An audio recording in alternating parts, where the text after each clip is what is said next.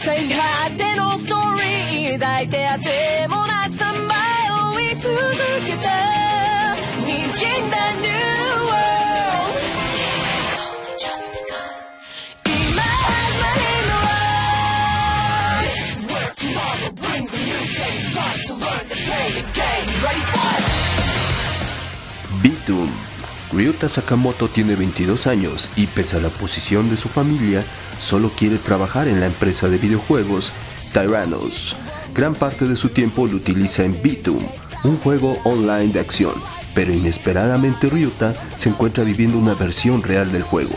Su inigualable talento para el combate online le será muy útil, pero también será importante la interacción con los otros jugadores, sus historias y el verdadero motivo por el que hayan sido trasladados a esa isla, a matarse unos a otros. Por lo pronto, las reglas del juego indican que al conseguir 8 chips de los que cada jugador tiene uno, en mano logrará ganar y salir de ahí.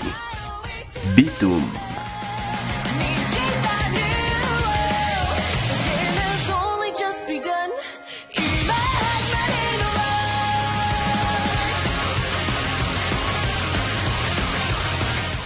Bitum.